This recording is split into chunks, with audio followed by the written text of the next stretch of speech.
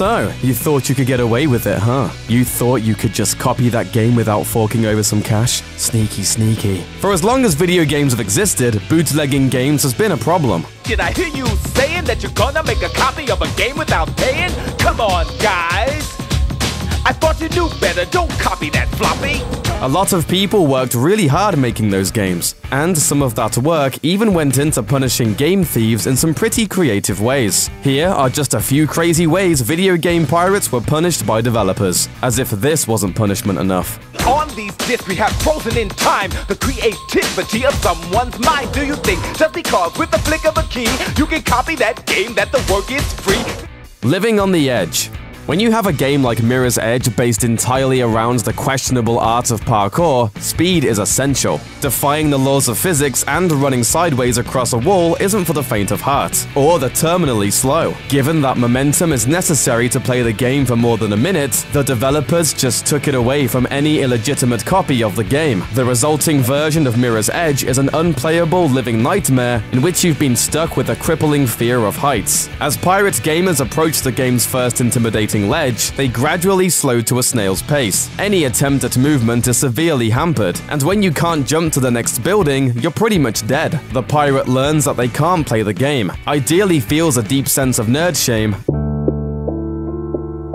and with any luck, actually pays for a copy of one of 2009's most interesting games about parkour. It's like 20 bucks, bro. Just do it. A similar technique was used for illegally copied versions of Batman Arkham Asylum, basically turning Batman into some ordinary jerk with a death wish and a dorky costume. Gliding around like a bat is a pretty important game mechanic, but pirates wouldn't know, because they don't get to use it. Once the game fails the usual system check, the ability to glide is simply removed. Pirate players find out what happens when a person tries to do a bat glide in reality. To the Batmobile! The game also made saving impossible, but making the Dark Knight just kind of stumble off of buildings probably deterred anyone from playing long enough to do anything worth saving. Total Terror Players of Five Nights at Freddy's are pretty accustomed to getting the living crap scared out of them, both figuratively and physically. But despite how effective the game's usual robot animal jump scares are, the developers decided that pirates deserve an additional pants-wetting moment that they'll never forget. Players who attempt to quit their pirated copy of Five Nights will find themselves on the receiving end of an additional unscripted and pretty harsh jump scare. That's pretty much it, but it works really well. How cruel is it to keep on pounding on someone after they've already cried uncle, even if they kinda deserve it? Brew! Gotcha. Scared you. Scared you. For the Birds.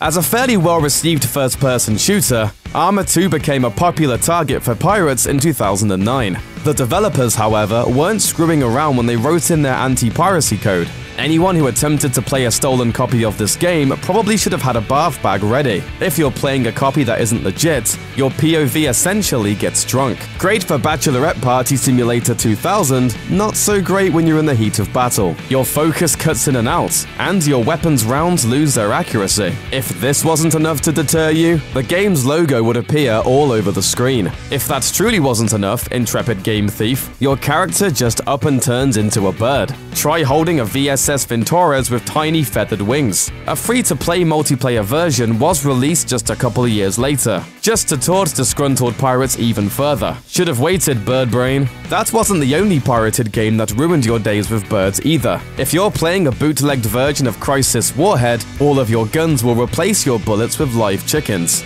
Eventually, the hundreds of cluckers can cause the game to crash, and even if it doesn't, there's no way to fight a war with farm animals, right?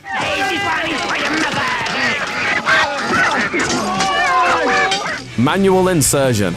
Back in the early days of home gaming, developers had limited options when it came to copy protection. Not only did they need to get creative and publish elaborate rap videos, Say you see a game you like and you really wanna try it. Don't copy that floppy, just go to the store and buy it. but they also needed to use what they had old school paper instruction manuals. The developers of Prince of Persia included a fun way of dealing with pirates. In the second level of the game, just when you think you're in the clear, you come to a large room filled with potions, each with a letter above it. It's a real Last Crusade moment. You must choose.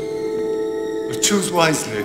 The trick is that the potions correspond to a code printed in the game's manual. Choose the wrong potion and you're dead. If you have the manual, you're free and clear, and get to live on to finish the game. And you couldn't easily just look up video game codes on the internet in the 80s, because the Dark Ages were a terrible time for nerds. Get those nerds! Nerd! Nerd! Memory loss.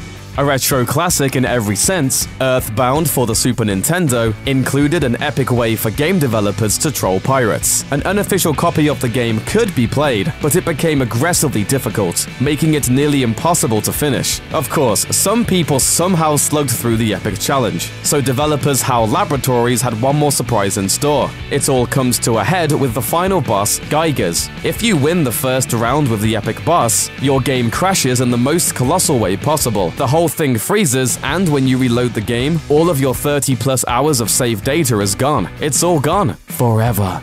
like tears in rain. What a shame. The developers for Skullgirls had an interesting way of dealing with pirates. They embarrassed them online. Once the player finally beat the game, they wouldn't get the usual ending. Instead, they'd be greeted with a text box saying, What is the square root of a fish? Now I'm sad. That's it. No end credits, nothing you might normally find at the ending of a game, just a bunch of nonsense. Pirates were annoyed and took to the internet to find out, essentially outing themselves as dirty thieves. It wasn't just about punishing pirates though. Skullgirls enjoyed some viral publicity as a result of their unusual end game, which helped boost sales and ensure a string of re-releases. Oh, the irony.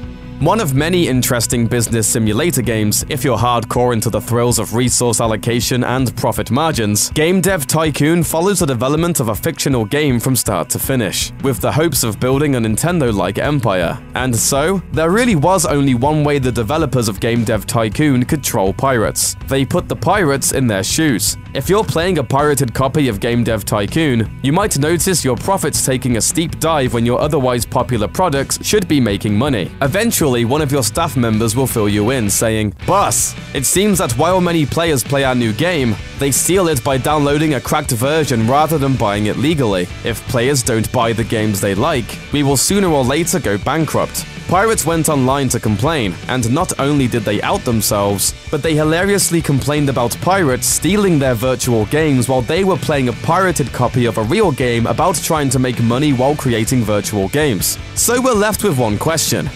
Why are you the way that you are? The irony, it would seem, was lost on many. Thanks for watching. Click the grunge icon to subscribe to our YouTube channel. Plus, check out all this cool stuff we know you'll love too.